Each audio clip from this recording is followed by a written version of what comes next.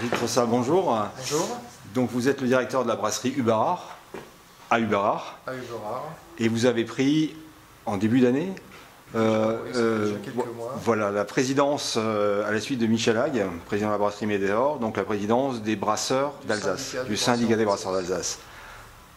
Qu'est-ce que ça représente pour vous? Ces, ces cinq dernières années, on a vu euh, naître euh, ces trois dernières années plus d'une centaine de brasseries par an artisanales.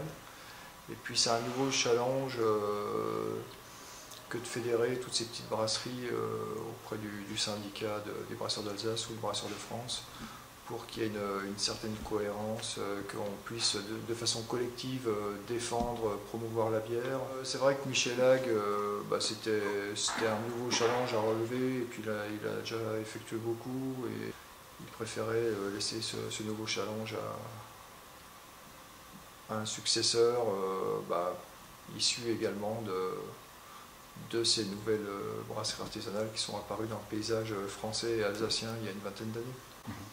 Pour, pour en en l'occurrence une quinzaine d'années, non 17 ans vous me disiez. 17 ans déjà. On fait partie des vieux, des vieilles brasseries alsaciennes. Il y a un Mhm. véritable engouement.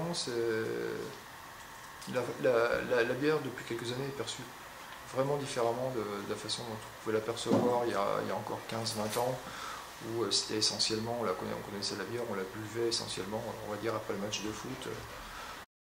Le produit a énormément évolué, touche une clientèle beaucoup plus large, féminine, jeune, moins jeune, et avec des produits euh, qui sont loin, des, qui se sont éloignés un petit peu des standards des bières traditionnelles qu'on pouvait connaître il y, a, il y a 30 ans, avec une approche plus facile, avec des produits euh, soit plus faciles, soit beaucoup plus pointus, des bières très amères, on trouve aujourd'hui de plus en plus sur le marché, des bières relativement alcoolisées, des bières aromatisées euh, avec toutes sortes de plantes qu'on utilise en cuisine, des, fruits, des fleurs, du miel. euh, et c'est un marché qui profite à tout le monde.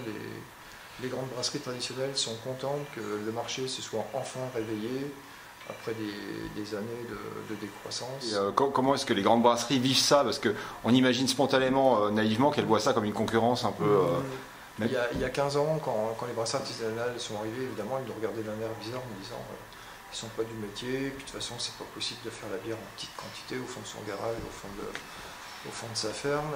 Et, et si c'est le cas, on peut le faire. Il y a, tellement de place, il y a tout à faire en France. Donc, euh, en, en France, on ne boit pas de bière. mhm. On est les derniers en Europe avec les Italiens. Bon, on ne peut pas tout boire non plus, on boit pas mal de vin. Donc, euh, globalement, on absorbe quand même un petit peu d'alcool. Mais euh, ouais, on est à un peu plus de 30 litres par an et par habitant, alors que quasiment tous les autres pays d'Europe sont à 40, 50 et beaucoup à 70, 80. Donc si demain on boit euh, 10 ou 20% de, de plus euh, de, de bière, on restera encore les avant-derniers avec les Italiens.